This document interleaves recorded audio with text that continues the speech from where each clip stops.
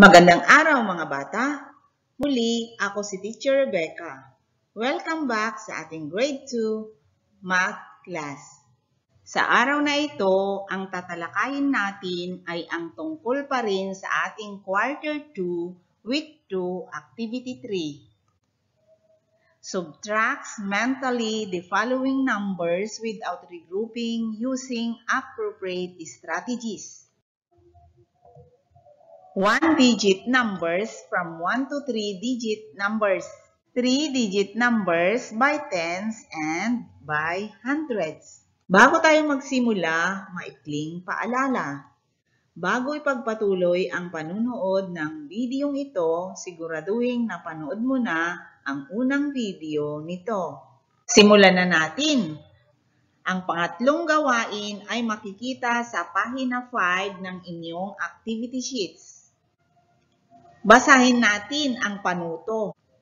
Sagutin ang mga sumusunod gamit ang isip lamang.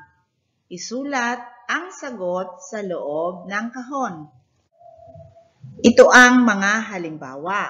Ibawas ang 100 sa 782.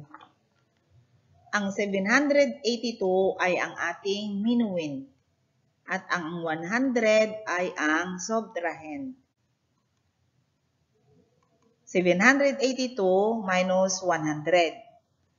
2 minus 0 equals 2.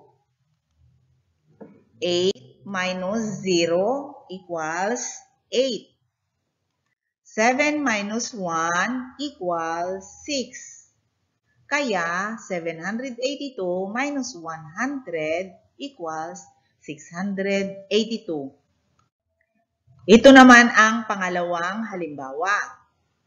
Kunin ang 310 sa 875. Kaya, 875 minus 310 equals 5 minus 0 equals 5. 7 minus 1 equals 6. 8 minus 3 equals 5. 875 minus 310 equals 565. At ito naman ang pangatlo nating halimbawa. Ang 937 ay bawasan ng 637.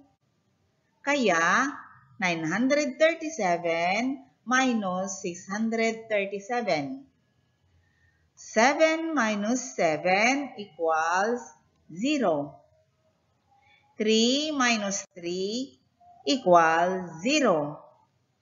9 minus 6 equals 3.